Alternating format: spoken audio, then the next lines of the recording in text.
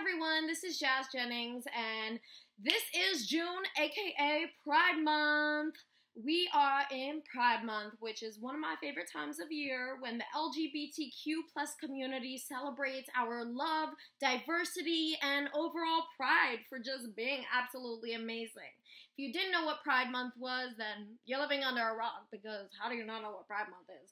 JK, JK. If you don't know, then it's really just where we all celebrate you know, the beauty of being an LGBTQ plus person or just being an ally. We come together, there's rainbows and colors and parades and just happiness, and it's an absolutely fun time of the year.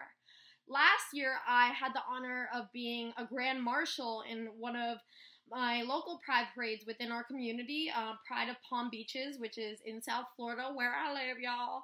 Um, and this year, I'm going to continue to be supporting Pride by marching in the New York City Pride Parade, so I'm really excited to do that. That's going to be a ton of fun.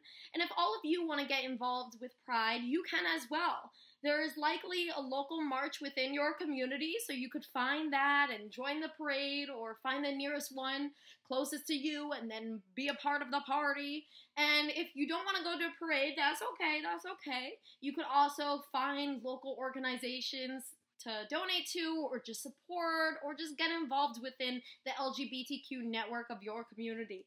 I'm so happy that it's June, Pride Month, and that we could celebrate our rainbows and colors and happiness and joy of being a queer person. And yeah, I hope you all are excited too to be in the month of rainbows and love. Mwah.